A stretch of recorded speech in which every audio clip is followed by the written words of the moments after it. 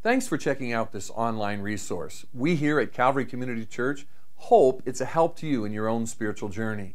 But online resources can't replace our engagement with the local church, where we can serve with others, we can worship with others, we can do life together and reach out to the community. If you live near Calvary, we invite you to join us 6 p.m. Saturday or 9 or 11 Sunday morning for one of our weekend services. If you live at a distance, just email us at info at calvarycc.org and we'll help you find a church where you can get grounded and growing in Christ.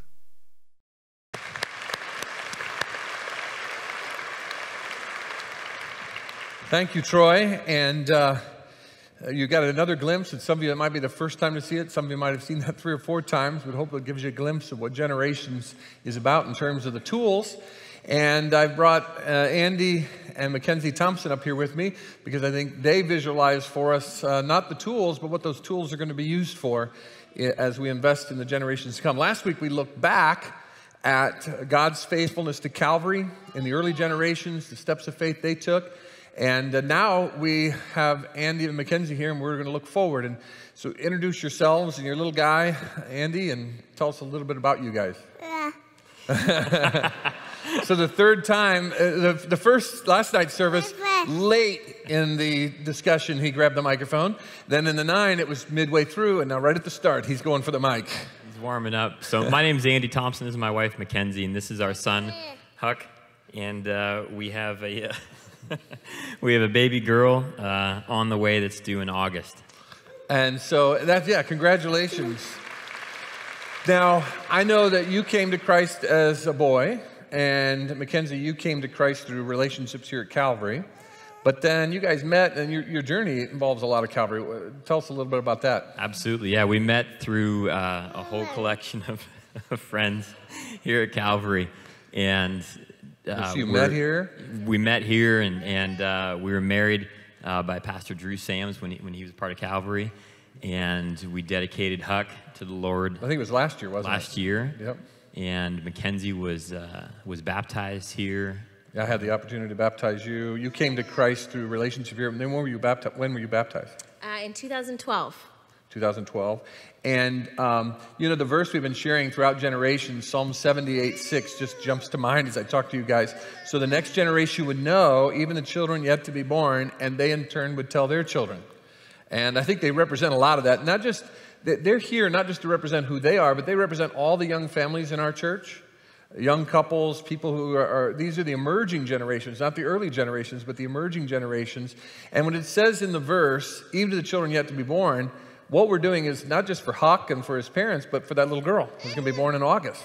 And I know when I first shared with you guys, uh, or when I shared with the congregation, update on the Calvary 2020 vision in February. You emailed me, Andy, like before 2 p.m. that Sunday to say how excited you guys were. What excited you about what you've heard about in generations, and why are you guys passionate about it?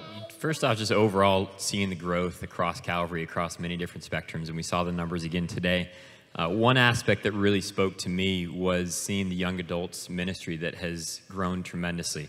I was a young adult here before I met my wife, and there just wasn't the ministry was not thriving. And I think that that's something that's a, a, segment of our congregation that is is so vital to this church and for every church to grow mm-hmm. and to see and hear that that has just grown tenfold by providing the space through the high school ministry and hearing about how the, how the high school ministry has grown as well just gave me so much encouragement for what this church is becoming and you know now being a dad and of one and one more on the on the way and you know, we, we stand up here as, as one couple, but there's so many young couples in this church. We're part of a small group with, with a lot of young couples, young families, and and you know we we're excited for all of us and for and for what the next generation of, of Christ is uh, is doing you know in, in his in his church and so to you know to think about the high school or I'm sorry the middle school room and and you know yes we have the space for it now but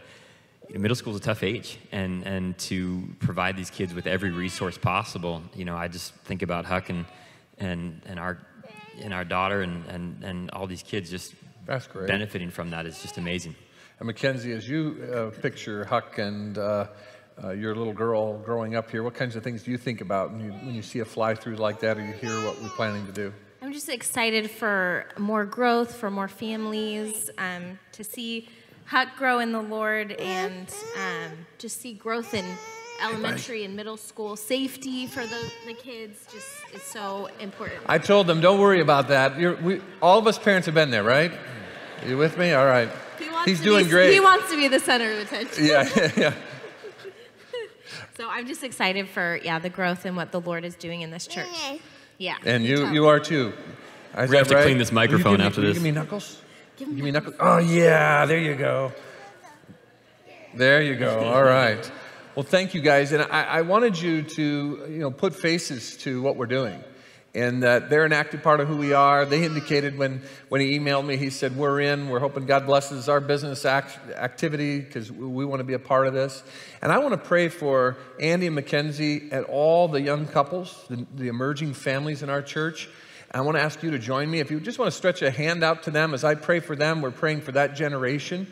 Father, thank you for Andy and Mackenzie and Huck and the little baby girl that's on the way. I pray that you'd give Mackenzie health and strength. I pray for them as a family that you'd bless them. Bless all the young families here at Calvary.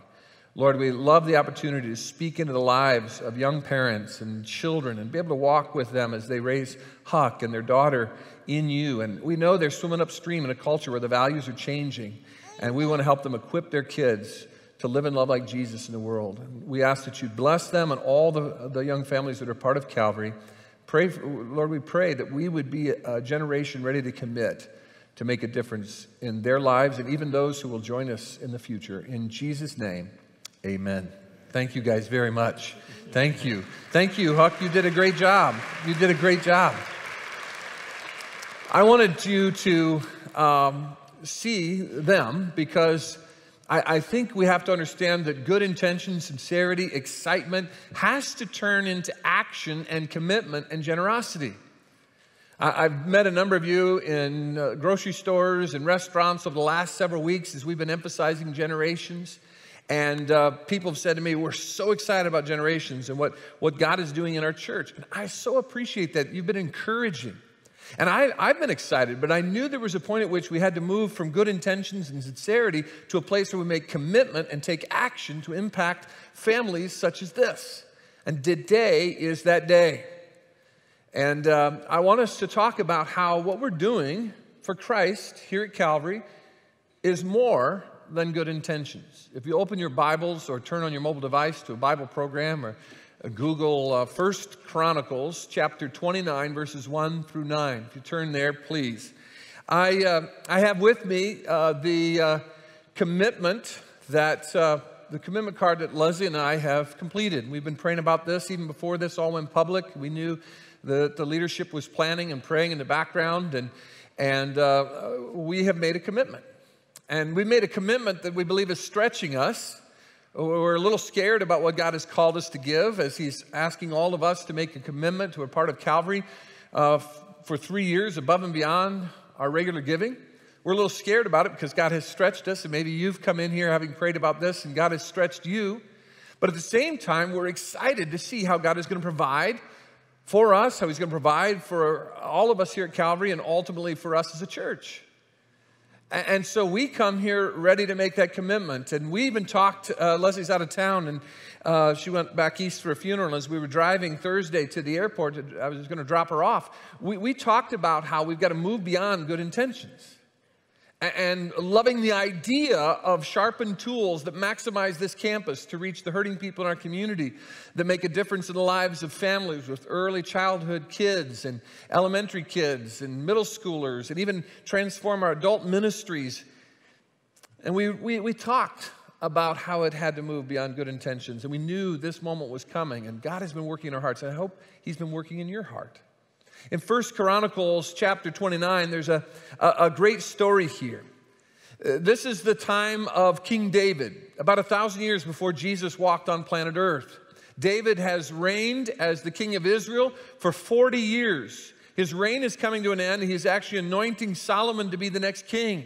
And in those 40 years, uh, David had a successful season of leadership. He has unified 12 tribes, which was pretty tough. He has taken all of the land that God had promised to Abraham. They now possess it, and they have peace with their neighbors. And so later in his, his reign and in his career, he had a, a, a passion in his heart to build a permanent dwelling place for God, a place of worship that would lift up the name of his God in Jerusalem.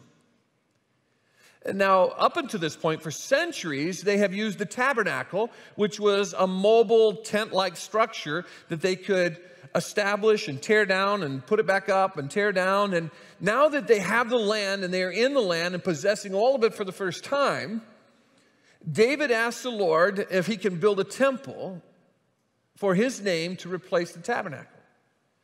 And uh, the Lord says, No. I, I appreciate what you're doing and what you're thinking, but you have shed too much innocent blood to be the one who builds it. But I'm going to let you raise all the funds for it, all the materials for it. I'm going to give you the plans, but you're not even going to see it. Your son Solomon is going to build it.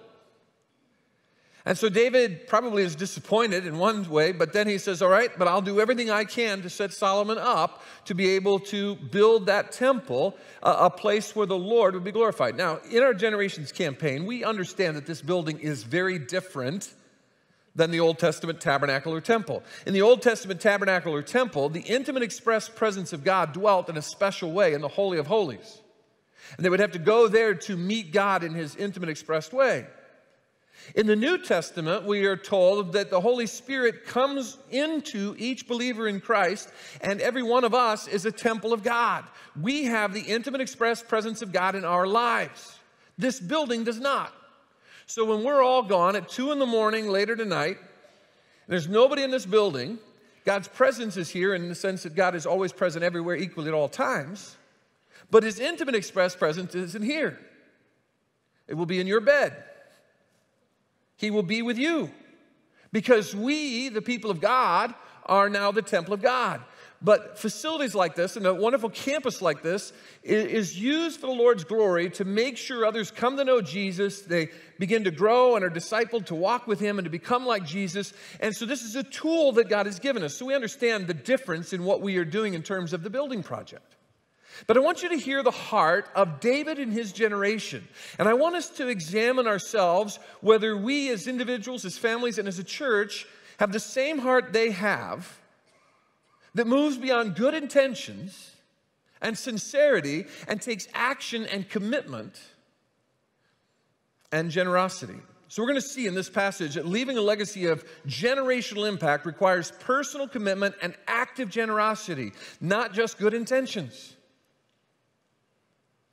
Today's the day we decided we're going to leave a lasting legacy beyond ourselves in enhanced tools for the Lord's glory here at Calvary. You can follow along on the screen or on your text there. I'm going to be reading from the New Living Translation because it takes some of the numbers here and makes sure that we understand them in modern terms. And so the text will appear on the screen. First Chronicles 29, David is speaking to the whole congregation. He's anointing uh, Solomon, his successor, and he says this to the whole assembly that's gathered. Then King David turned to the entire assembly and said, My son Solomon, whom God has clearly chosen as the next king of Israel, is still young and inexperienced. The work ahead of him is enormous. It's a big project. Our project, the Generations Project, is enormous. It's a renovation, it's going to be disruptive. It's a $20 million project. I don't, I don't think in those terms of dollars. I don't know if you do or not. It's a huge challenge. But notice he says, For the temple he will build is not for mere mortals, it is for the Lord God himself. And this building, even though it's not the place of the intimate express presence of God, it is a tool for God and for his glory. And whatever we do to enhance it and make it more effective and efficient for the cause of Christ, it's for the Lord himself. Verse 2 using every resource at my command, I have gathered as much as I could for building the temple of my God. Now there is enough gold, silver, bronze, iron, and wood, as well as great qualities of onyx, other precious stones, costly jewels, and all kinds of fine stone and marble. And now, because of my devotion to the temple of my God, I am giving all of my private treasures of gold and silver to help in the construction. This is in addition to the building materials I've already collected for his holy temple. I've not only given the building materials, I have given all of the things that will make this an, an, an ornate and beautiful building to the Lord's glory. Verse 4 I am donating more than 112 tons of gold from Ophir, 262 tons of refined silver to be used for overlaying the walls of the buildings, and for other gold and silver work to be done by the craftsmen. Look at this, this phrase here at the end of verse 5. Now then, who will follow my example and give offerings to the Lord today? Who will, who will join me? Today I'm asking you, who will join us in leadership here as we move forward? Verse 6 Then the family leaders, the leaders of the tribes of Israel, the generals and the captains of the army, and the king's administrative officers all gave willingly. That's key.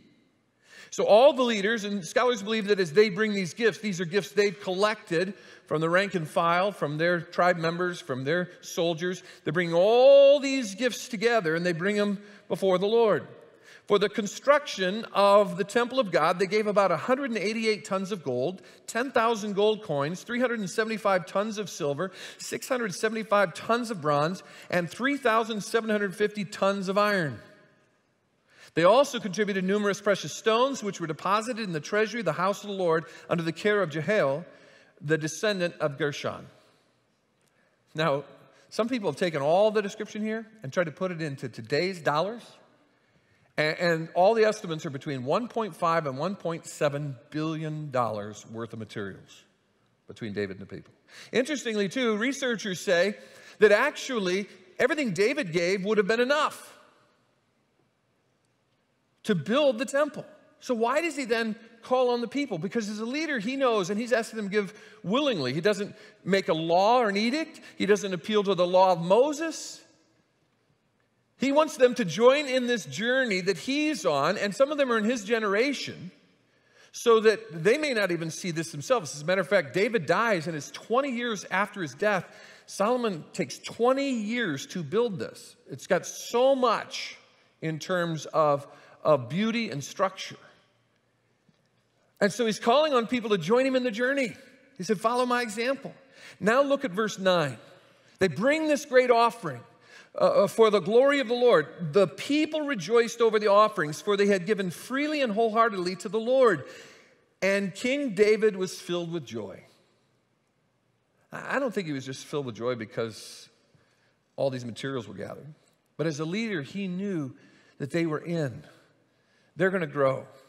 Somebody asked me, well, Shawn, if, if after, with the commitments and then the gifts to come, if, if the, the $20 million doesn't come in in three years, won't you be disappointed? Well, humanly speaking, yes.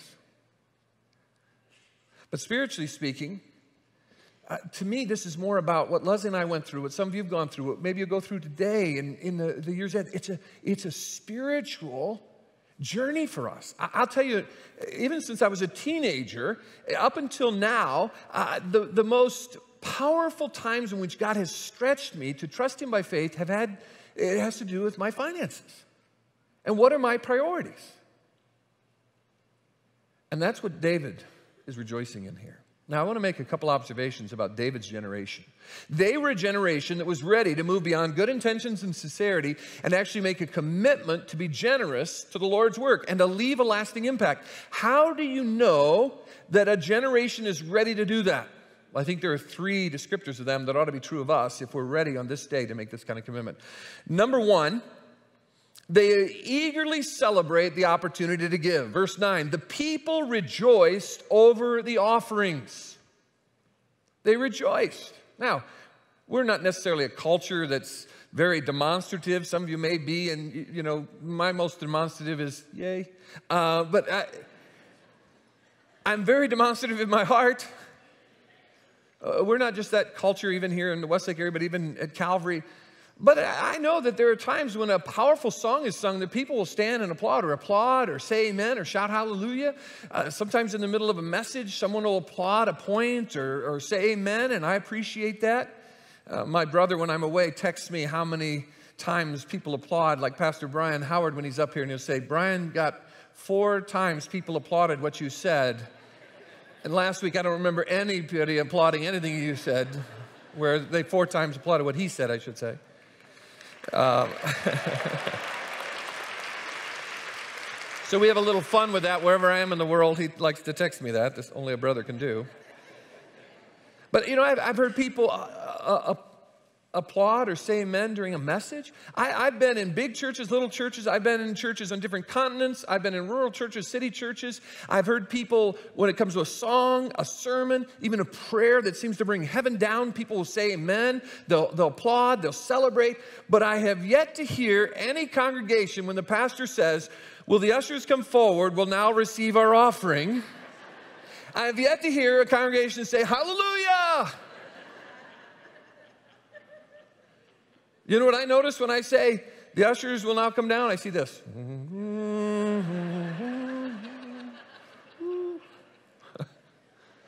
But it says here the people rejoice over the offering. They eagerly celebrate the opportunity to give. Some of you came in and go, Oh man, I thought we were going to miss this weekend. We were trying to avoid Commitment Sunday. But I hope you've come. I mean, as Leslie and I have wrestled with this, we, we're ready. And we want to celebrate whatever God's going to do here, whatever commitments are made, and how He's going to take care of this in the next three years. They eagerly celebrate the opportunity to give. The kind of generation that's ready to make a lasting impact. Impact celebrates just the opportunity to give. Secondly, they willingly exercise their freedom to give. In the middle of verse, it says, For they had given freely and wholeheartedly to the Lord. They celebrate because they did this out of freedom. He doesn't say, I'm making it an edict that everybody must give 2%. He doesn't say, you ought to give or, or you're going to look embarrassed. There is a freedom. And this is unusual in the Old Testament. Usually there is a law. Usually there is a king saying, you do this. But he says, just give freely. It, it says that in uh, the end of verse 6. It says that when all these offerings come, all gave willingly. How can we give willingly? How can we give with freedom? See, uh, they, they willingly exercise their freedom to give. We give because God has been good to us and how He's blessed us. I mean, just stop and think about how you've been blessed. But to the majority of the people in this world, we are greatly blessed. Just start with the greatest blessing of all is that while we were still sinners, Christ died for us. God loved us, sent Jesus to die on the cross. He was buried and rose again, so that not by our own merit, not by our own works, but by the finished work of Jesus Christ, when we put our faith in Jesus, He showers us with His grace, His goodness we don't deserve, and He makes us His children, forgives us, and gives us an eternal home in heaven. That is God's goodness at its height. And let me just say that if you if you have never put your faith in Jesus, stop trying to clean up your act enough. Stop trying to be good enough and just put your faith in the one who loved you and died for you. You will receive the goodness of God, the grace of God. And that's the starting point of God's grace. Then we look at how He's provided for us in our health, our experience, our education, our professionalism, whatever you, the composite of who you are, everything you have has come from God. Everything I have has come from God. I am blessed, you are blessed, and we are, yes, to enjoy those blessings, but we are to be rivers of blessings, not reservoirs of God's blessing. They willingly exercise their freedom to give, they freely give to the Lord. We give to God because God has given to us. He doesn't use intimidation as he talks to his people. He doesn't use coercion. He doesn't use manipulation or obligation. And if when we come to the commitment time, you feel like you've been coerced, manipulated, intimidated, or obligated into this, I'd rather you not give. In the New Testament says God loves a cheerful giver.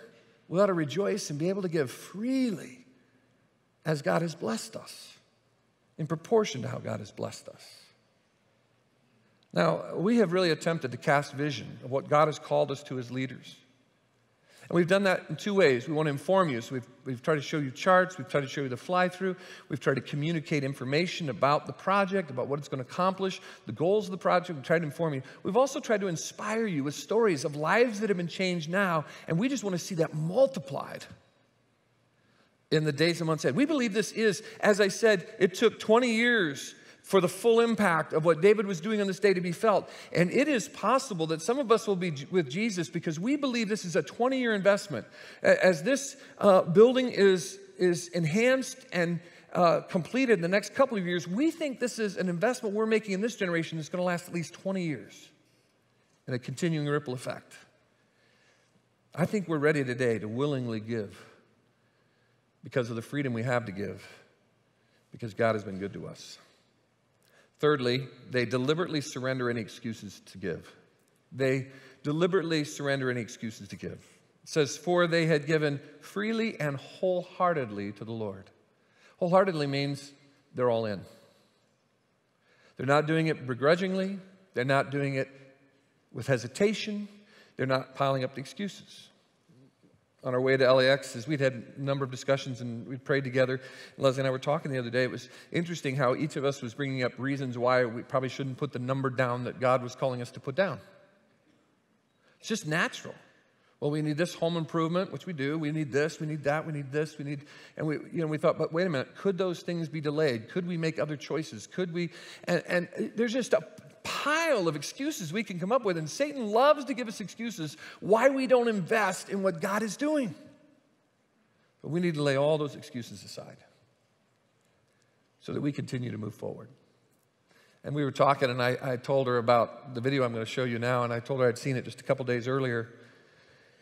And uh, I, was, I was sent this video on Tuesday, and uh, they want to know what I thought of it. And I was eating lunch, and I was, I was uh, writing some notes, and I had a water bottle there, and I leaned my iPhone against the water bottle to play this video that our team sent me. And, and um, I was doing other things. And then in the middle of the video, as you'll see in a moment, a mom of a child with uh, special needs says, Everywhere we go, people turn away from us.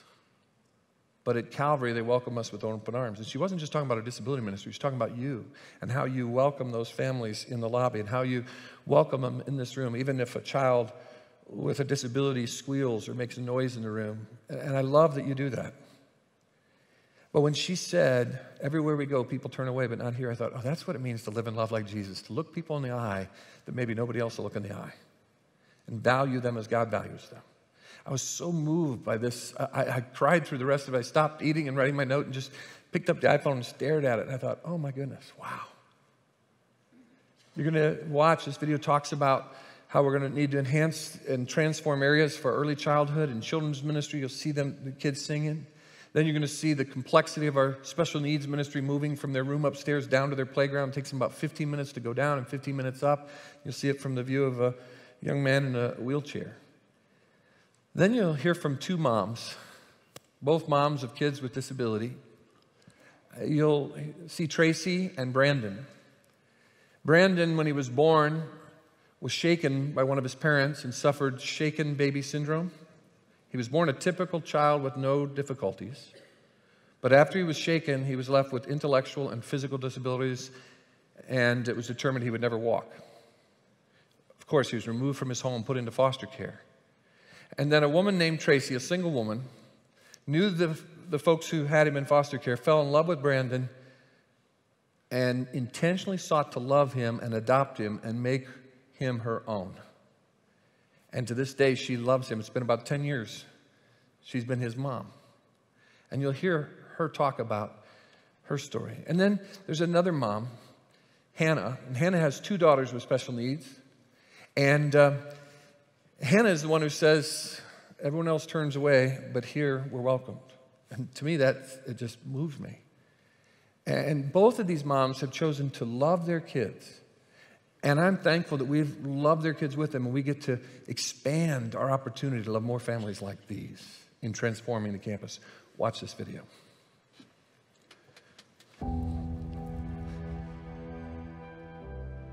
One of the complexities of our special needs ministry is it's on the second floor. We have a great special needs playground that's down on the first floor, but our special needs ministry is upstairs, and it can take 12 to 14 minutes just to bring them down and get them to the playground. There's just no more room on the first floor in our current uh, layout of the building. Whereas in our plan with the Generations campaign, They're going to be right down there on the first floor. They're going to have direct access out of their doors to the special needs playground that's designed just for them. And that's going to improve our ministry to kids with special needs.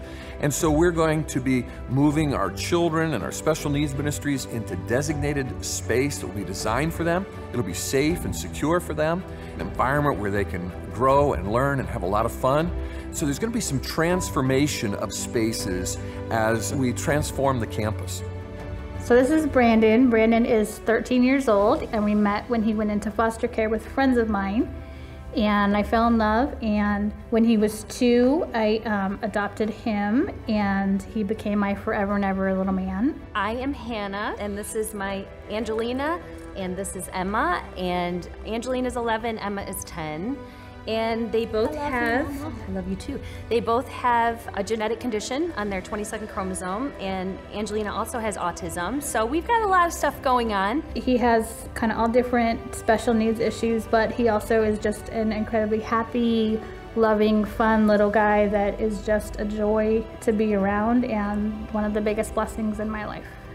It's also a little difficult and challenging, as you can tell, but this is my life this is the way it is, so. And you have to ignore it. And you have to ignore it.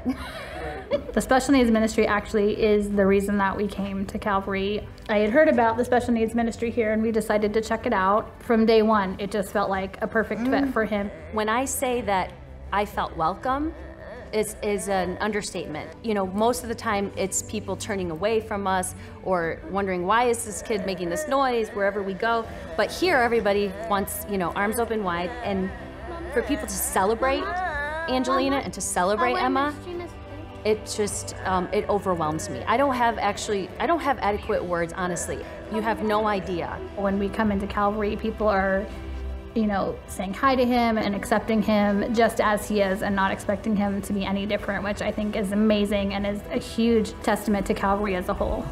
Coming to church every Sunday and not having to worry for me to be able just to go and sit and be a part of worship and be a part of of the word and not have to worry about my girls. I know that they are getting the same thing, but with over and above love, over and above care.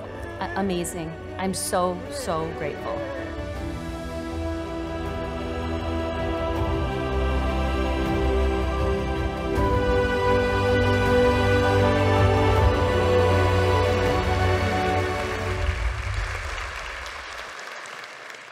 I don't know if they got you, but it got me again.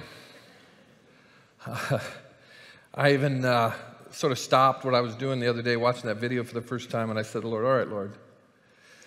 If I were to stand before you one day and give an account for how I've served you, if the only thing I could show for it was I pastored a church where these two ladies were impacted and loved, and that was all I had to show for decades of service, I would be satisfied.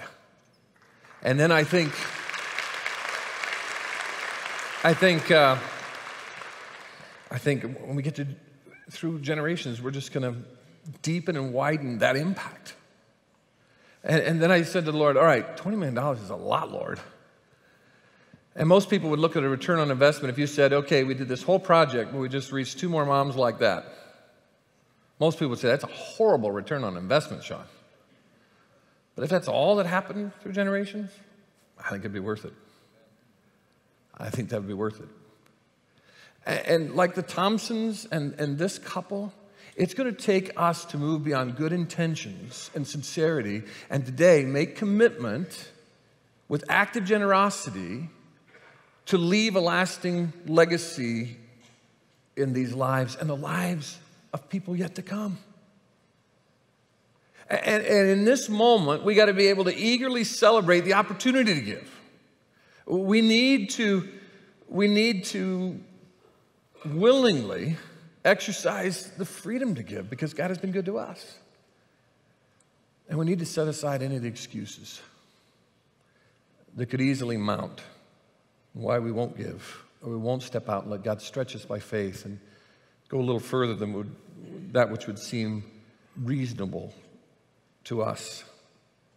Because with the Thompsons and with Tracy and Hannah and their kids, and those will yet impact, We want to be with them to see them reach great milestones, even to ultimately cross the finish line and be with Jesus, whole and together in Christ. At the 5K, Pray Fit 5K last week, that was a great success. Thanks for all who came and all the resources that, that came in. All are going to special needs ministry. At the 5K, there was a one mile walk or stroll or roll, um, and Brandon joined that. And Brandon, by far, was the last one to cross the line. But they told people he was still coming, so stick around to celebrate. And this is a boy who was told he would never walk. And watch as uh, our special needs director, Gina Spivey, crosses the line with him far after everybody else crosses the line. And we want to continue doing this with families.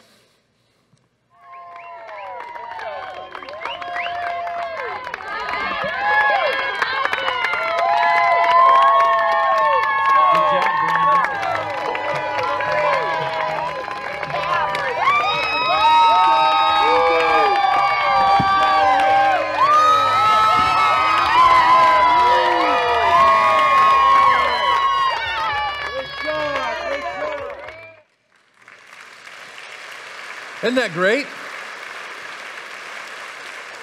Man, that's great. And that visualizes to me what we want to do with, with through our, our capturing the space. You know, we have three goals to capture the space. We're going to capture some space for middle school, like we did with high school, and we're going to do something that's going to impact that generation in a vital way. Capturing some storage that can actually be uh, one of the larger rooms for us in, in ministry and transforming our campus so that early childhood, elementary, adults, all ages are affected. We are more efficient, secure, and safe, and uh, areas designed for those age groups. And then to extend the blessing, we want to we want to be there to walk people uh, forward in the journey of life that can be difficult and challenging. Those who've been affected uh, by financial crisis in their lives, they're struggling to make ends meet. Those are the three goals of this campaign to capture the space, transform the campus, and then extend the blessing and make that building a gift to our community.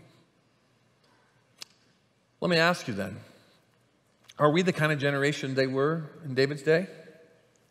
Are you ready to commit and give so others so other generations can be reached with the hope, love, and message of Jesus?